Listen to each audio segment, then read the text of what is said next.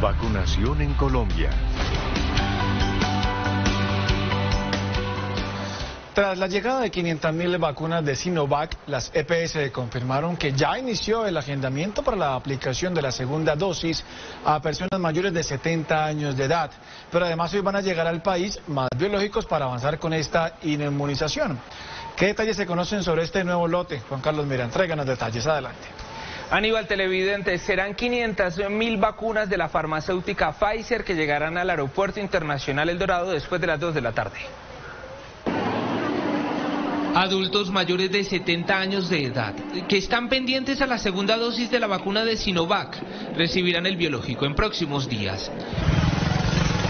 Con la llegada de 500.000 vacunas de esa farmacéutica al país, se pondrá al día el Plan Nacional de Vacunación.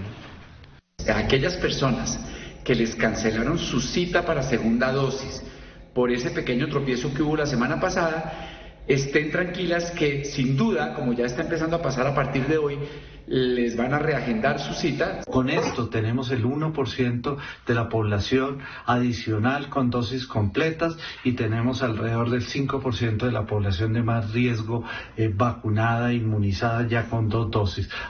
Hoy se espera que más biológicos lleguen al territorio nacional alrededor de 500.000 vacunas que ingresan de eh, la farmacéutica Pfizer.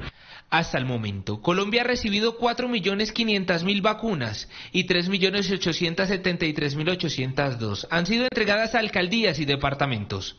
De esas, 3.090.671 se aplicaron en primera dosis y ya 828.815 personas completaron el esquema con las dos vacunas. Es muy posible que quienes ya estaban vacunados hace más de un mes y se infecten el tercer pico, pues no van a ser una forma grave es muy probable que lo que veamos es una disminución de los adultos mayores que fueron los que primero se vacunaron eh, en las unidades de cuidados intensivos.